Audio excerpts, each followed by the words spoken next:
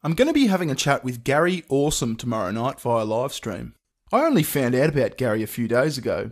He's a fellow Australian YouTube shitlord who makes some pretty fucking hilarious videos.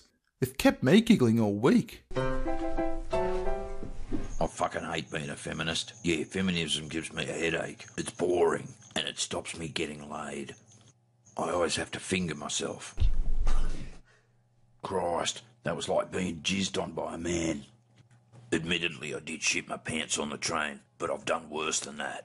So, apart from telling him to hurry the fuck up and make more videos for my viewing pleasure, we'll mostly be discussing those topics that make you want to piss yourself with laughter and shit yourself with utter cringe at the same time.